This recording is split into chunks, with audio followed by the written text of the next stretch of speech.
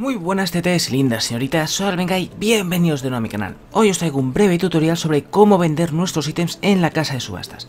Para empezar debemos ir a la página de Warface y estar logueados. Y una vez ahí, vamos a la pestaña Shop y a Auction House. En la tercera pestaña de la casa de subastas, Sell, nos saldrán los ítems que podemos vender.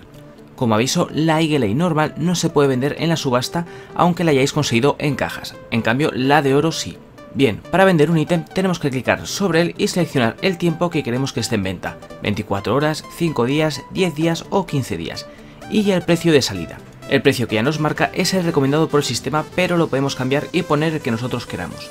Tener en cuenta que el mínimo es de un crédito y el máximo de 60.000 créditos.